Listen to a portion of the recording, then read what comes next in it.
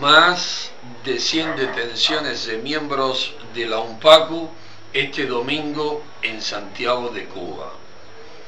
Este domingo, 15 de marzo, día en que los cubanos conmemoramos la histórica protesta de Baraguá, los órganos represivos de la dictadura de los hermanos Castro detuvieron a 101 miembros de la Unión Patriótica de Cuba, UNPACU, y de Ciudadanas por la Democracia, organización esta última asociada a la primera, en la provincia de Santiago de Cuba, cuando los defensores de los derechos humanos intentábamos llegar al santuario de la Virgen de la Caridad del Cobre.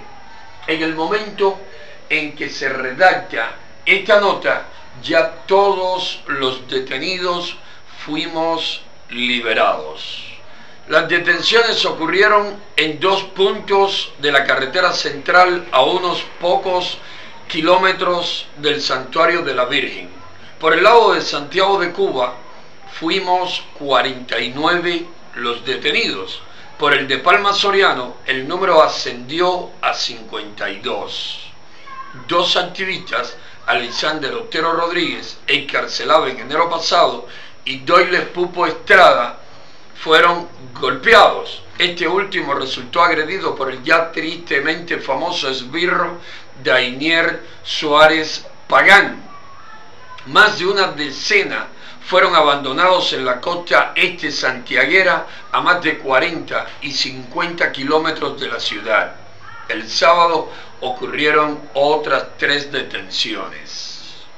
Solo 19 activistas pudieron llegar al templo católico y participar en misa, entre ellos la líder de C Belkis Cantillo Ramírez. Los defensores de los derechos humanos devotos de la Virgen Mambisa asisten al Santuario Nacional del Cobre a orar por la liberación de los presos políticos y el fin de la brutal represión del régimen catrita contra los disidentes y el pueblo en general nuestra asistencia a misa y todo lo que la policía política pone en práctica para impedirnos llegar pone de manifiesto la firmeza y el compromiso de los de Unpacu, la mala voluntad y la infamia del régimen y los miedos, poca solidaridad, desinformación, parcialización y manipulación en las filas de la iglesia. Este fin de semana la UNPACU puso en movimiento una serie de tácticas cuyo objetivo era burlar a las fuerzas represivas. Primeramente se envió a una veintena de activistas para el santuario del cobre el viernes en la tarde para obligar a la policía política a montar un numeroso, largo y agotador operativo policial. Los activistas se ven obligados a dormir a la intemperie debido a la hostilidad que demuestra el personal de la iglesia víctima de la desinformación, de excesivo temor y de las jugadas de la inteligencia catrita. Mientras hacíamos que las fuerzas represivas concentraran su atención en los movimientos hacia el santuario del cobre, otras células de la UNPACO realizaban varias acciones públicas en los municipios de Palma Soriano, San Luis, Mella y Santiago de Cuba también en terminales, en vehículos del escaso transporte público y privado, se repartieron muchos discos con materiales audiovisuales e impresos con noticias y mensajes de nuestra organización. Se realizaron varios mítines y se dio apoyo a las víctimas de los desalojos ocurridos en Palma Soriano. Entre las 6 y 7 y 30 antes meridiano del domingo, la policía política paralizó el transporte en el reparto Altamira con la intención de obstaculizar nuestro viaje hacia el cobre, a 20 kilómetros de la ciudad.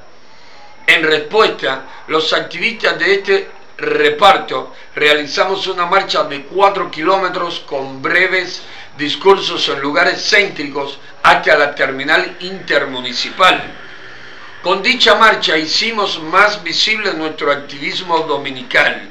También en los vehículos abordados llamamos la atención de los demás pasajeros sobre quiénes somos, por qué luchamos y por qué nos detienen. Entre los detenidos este domingo se encuentran destacados coordinadores de la UNPACU, Jorge Cervantes, Iriades Hernández, Vladimir Martín, Carlos Oliva, Víctor Campa, Jordanis Muñoz, Gilberto Hernández, Roberto González, David Fernández, Rubén Alvarado, Yasmani Magaña, Samuel Leblanc, entre otros. También fueron detenidos siete de los activistas encarcelados en enero como parte de las conversaciones entre el gobierno de Estados Unidos y el régimen cubano. Desde el primero de febrero a la fecha, contra la UNPACU han ocurrido más de 500 detenciones, varias de ellas violentas. La UNPACU continuará poniendo en práctica dinámicas estrategias que hagan cada vez más visible y numérico al movimiento prodemocrático cubano. Nuestro fin es hacer de Cuba una nación democrática, justa y próspera, y por ello estaremos luchando e invitando a la lucha a todo buen cubano.